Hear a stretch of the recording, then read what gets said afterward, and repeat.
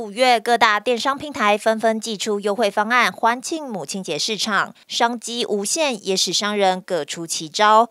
不过，医疗院所在网站、通讯软体或电视台促销自家美容医学疗程，已经违反医疗法第八十六条。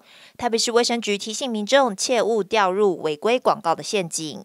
比较常见被我们法人哈，就是他以不正当的方式做宣传。那这个是包括啊像优惠啦、团购啦，还有直销和消费券，还有预付费用。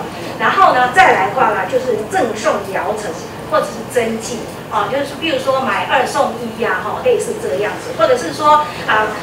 有一个啊，你你一个人来的话呢，是这个两万块。然后如果你带的人来的话呢，我就给你打八折啊。是说，哦，你只要一次消费两次啊，比如说打两针的那个病呃那个病肉毒杆菌哈的这个数呃呃那个肉毒哈，它的一次打两瓶的话呢，我就给你打八折。这这个是在市面上哈非常常见的哈。但是呢，哦，这个这些广告的话呢，会造成了一个很大的影响，就是它鼓鼓励消费。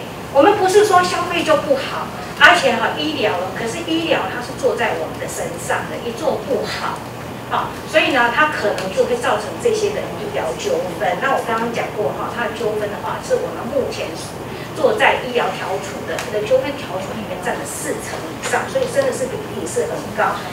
去年违反医疗法被裁处的案件就有三十四件，罚款一百七十万元。卫生局就提醒民众要注意六要三不。要检查医疗机构开业执照、医师执照，透过沟通了解想要改善的部位，并且详阅卫福部公告的美容医学处置同意书，且由医师人员亲自执行疗程、开立收据。不要相信夸大用语，不参加赠品折扣等不当招揽活动，也不要预付定金，以免产生后续的争议，保障自我的消费权益。